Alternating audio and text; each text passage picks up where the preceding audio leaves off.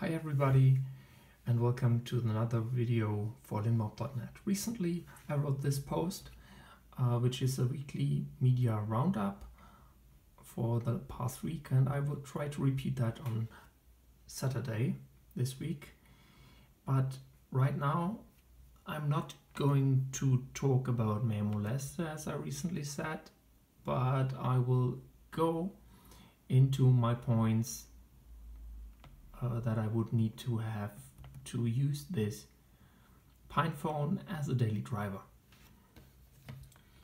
So I haven't really been doing a ton of PinePhone stuff lately because well I was pretty busy um, with life and I am also trying to work on uh, the website because I'm going to bring the old posts back and I will retouch them a little bit and I will need to extend Jekyll to have stuff like uh, tags and uh, an archive page so that this makes sense and it's not an endless list of posts that you can't really access.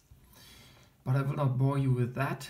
Uh, instead, I'm just going to show you a little bit about the PinePhone that has come about in the past days. And most notably, I'm running Mobian here. Um, I changed the scaling to uh, 2x. The default on Mobian is 1.8, but um, on PureOS and on Postmarket it's 2. And I like 2 better because with 2 scaling to such a 2 on the keyboard.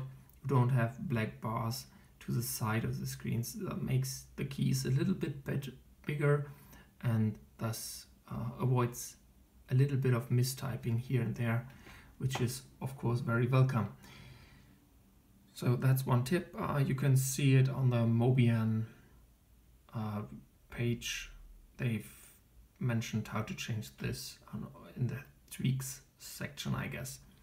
Aside from that uh, the biggest PinePhone news of this week is that the camera is now working. This here, by the way, is the Password Safe, which I managed to set up and so that I, which was one of my points on my to-do list that I absolutely needed. So you can use GNOME Password Safe.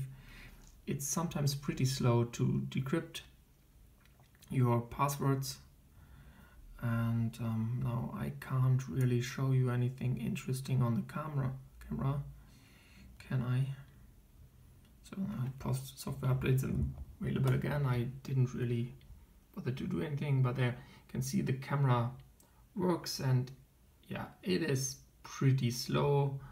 And um, I'm sure that's going to get better over time but at least it works and you can just take a picture like that.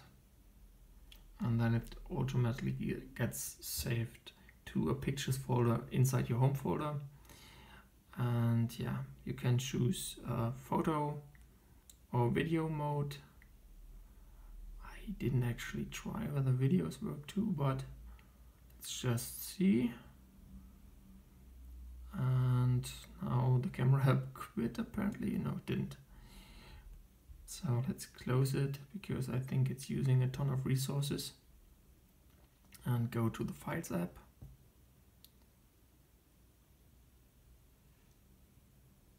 And then here you see Pictures folder.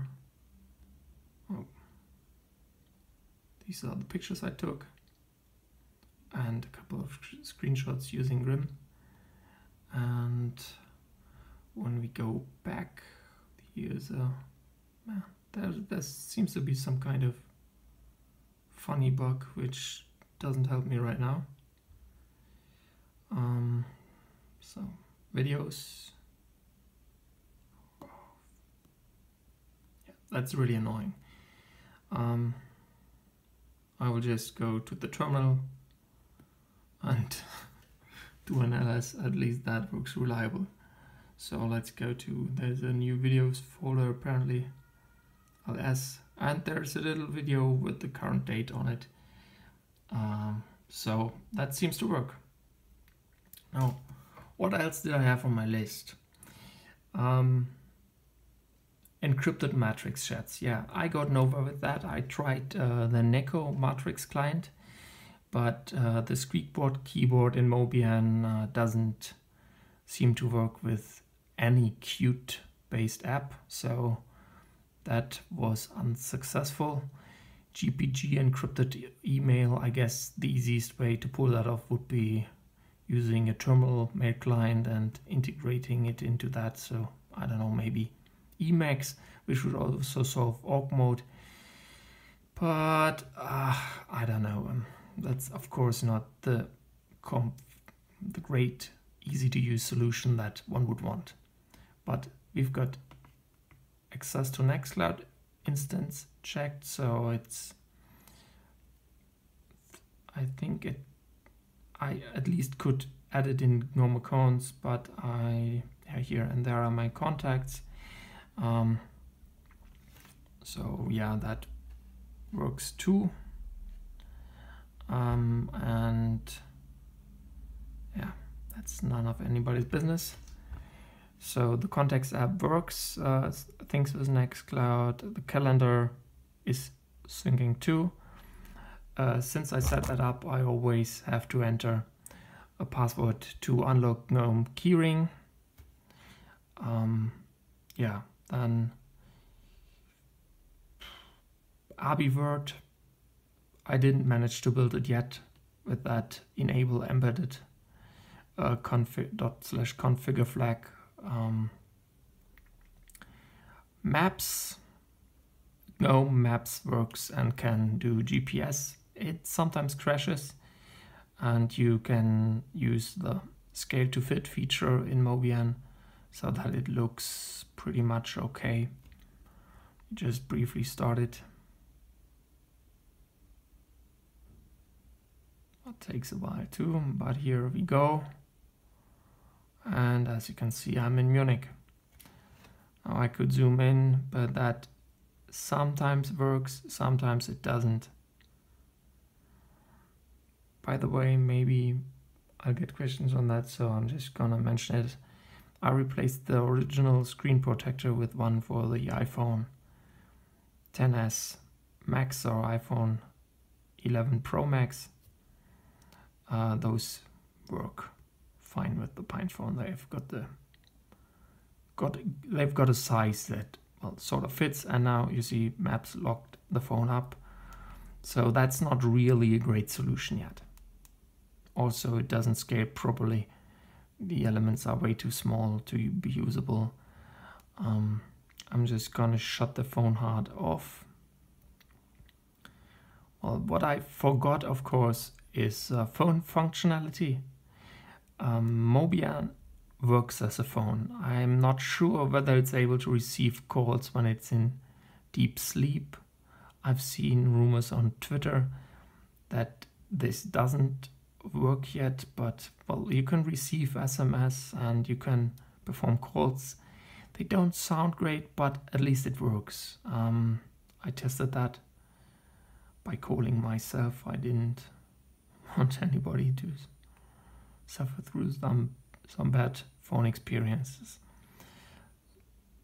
Maybe while the phone was still on, you could see that I have the Corebird Twitter client installed. Um, that one also works just fine and now it wants me to enter my keyring password and it's terrible dark.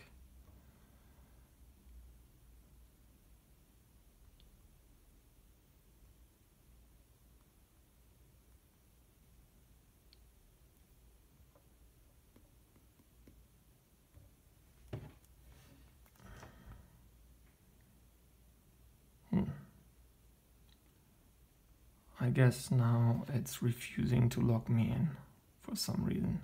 That sometimes happens. I don't know whether that's a known bug and also it's getting quite hot right now so something must be wrong and I should just reboot the Pine phone here.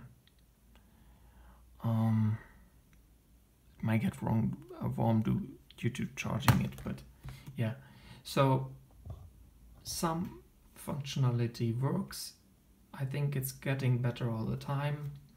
Uh, Mobian, by the way, is now officially my favorite distro. Um, I've also used Postmarket, um, and Postmarket has working Anbox, at least sort of.